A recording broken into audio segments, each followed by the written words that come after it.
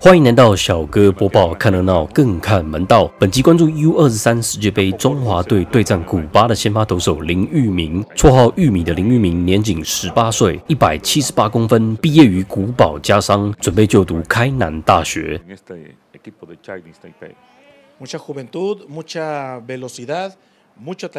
这个四缝速球尾劲十足，往右打者内角窜，带卡特球的轨迹。再来一球加到九十迈，卡特尾劲也不错。这球会不会是暗号看错？虽然变速球有速差，但不至于接不到。这个变速球修正位置，打者挥棒落空三振。如果是正后方镜头，会看得出来左转弯的轨迹。这球因为已经是良好球，打者以为是外角好球，不得不出棒。从本垒上方镜头可以看出往外拐的效果。卡特球右下串的尾劲，打者没掌握好。这是颗声卡球，向下窜的尾劲明显，而且会从外角拐出去。林玉明的这颗声卡再加以深造的话，有机会丢出像左投 Zach Brinton 这种向左下击坠的轨迹，相当令人期待。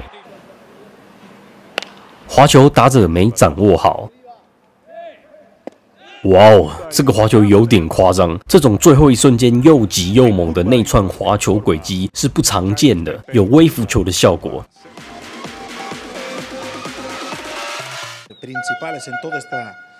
速球有稍微下坠的尾劲，打者挥棒落空。滑球差一些没进去。又是一颗微浮滑球，打者应该有猜中，但尾劲太犀利，还是无法掌握。这个变速球蛮不错的，最后一瞬间击坠，打者挥棒落空。尾劲不错的四缝速球，右下串的尾劲不让打者挥棒落空。这也是一颗带左下串尾劲的声卡球。林玉明的微幅滑球真是赏心悦目，让打者挥了一个大空棒。